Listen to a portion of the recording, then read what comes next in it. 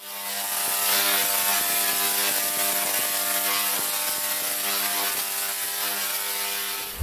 Assalamualaikum. Salam sejahtera. Hey, apa hal korang? Selamat kembali dalam channel YouTube Rais Hamid Aris TV. Masih lagi bersama dengan YouTuber kemaran rakyat Malaysia, Indonesia, Brunei, Singapura, Selatan, Thailand dan juga Filipina. Rais Hamid, apa hal korang? Check it out now. Ya, bedah-bedu. Let's go. Come on yo. Bismillahirrahmanirrahim. Allahumma salli ala Muhammad wa ala ali Muhammad. Allahu Akbar. Tekan butang subscribe. Alah, korang ni.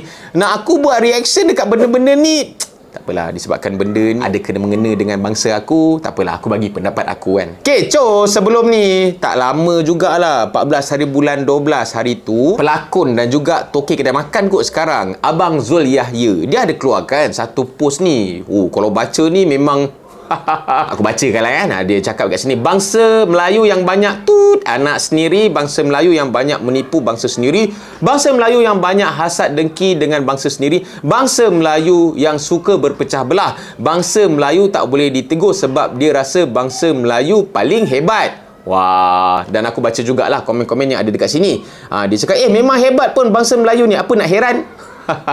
Lepas tu ada lagi orang komen bukan pada bangsa tapi pada individu. Okey, alright. Ada juga yang tanya, Zul ni bangsa apa? Ada juga yang komen, kamu marah orang kutuk, maki kamu sedangkan kamu yang mula provokasi. Abang Zul, rehatlah. Ada juga yang cakap, lebih baik diam daripada berkata-kata bang. Okey, pandangan aku lah macam ni bang. Betul juga cakap salah seorang daripada yang komen ni, kita tak boleh pukul rata bang. Sebab ada masalah-masalah itu terjadi bukan disebabkan bangsa tu bang. Itu jadi disebabkan individu. Aku tak naklah sebut apa yang kau cakap Melayu buat ni, bangsa lain pun ada lah buat kan. Tapi kita tak boleh pukul rata juga dekat bangsa yang lain tu. Dan saya faham sebenarnya abang lebih kepada nak menegur dengan cara abang lah. Mungkin keras sikit lah. Tapi kekerasan ayat abang dalam posting abang ni dia bukan dah jadi menegur bang. Dia dah jadi macam menghina merendah-rendahkan. Aku rasa bang seluruh orang Melayu dekat Malaysia ni kita tahu masalah bangsa kita sendiri. Tapi lagi afdol sekiranya daripada kita melalak nak kutuk nak, apa semua ni lah macam abang buat ni kan. Apa kata kita cari jalan penyelesaian? Mungkin abang boleh jadi orang yang buat content creator yang selalu cakap Melayu bangkit lah Melayu janganlah menipu. Ha, macam tu kan bagus. Ataupun abang join pertubuhan ke benda ke NGO ke jadi ketua ke dan abang ha, gerakkan kita nak ubah bangsa Melayu jadi lagi bagus. So bagi aku alamak. Abaikan je lah. Abaikan je lah dia punya posting ni kan.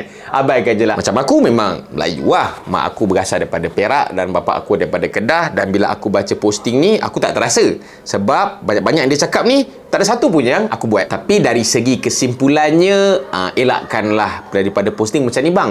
Sebab satu dia dah nampak macam perkauman lah. Lepas tu dia nampak pelik sebab setahu saya walaupun abang ni macam Chinese look tapi abang Melayu kot. Jadi cadahnya abang pergi kutuk bangsa sendiri dekat social media ni. Dan macam yang aku cakap tadi daripada abang melalak duk menghina merendah-rendahkan bangsa sendiri apa kata abang bagi jalan penyelesaian? Dan aku rasa itu je lah kot kan? Aku rasa bukannya abang Zul Yahya je yang selalu uh, buat posting posting macam ni kan. Ramai je yang selalu orang kata outspoken kadang-kadang menghina dan sebagainya kan. Ah, cuma dia famous. Jadi uh, orang ambil pusing lah apa dia cakap. Pada aku ah tak layan lah korang yang pergi layan dia lagi dia perak lah jadi kalau korang suka dengan video aku ni bolehlah share dan kalau ada sebarang komen boleh komen kat bawah jangan lupa untuk tekan butang like butang subscribe dekat butang loceng untuk notification video-video pada channel YouTube Rais Hamid selepas ini insyaAllah Semoga Allah lindungi bangsa kita, negara kita. Semoga Allah murahkan rezeki dan semoga kita semua digunakan taufik, rahmat dan hidayah. InsyaAllah, kita jumpa dalam next video. Assalamualaikum. Bye-bye.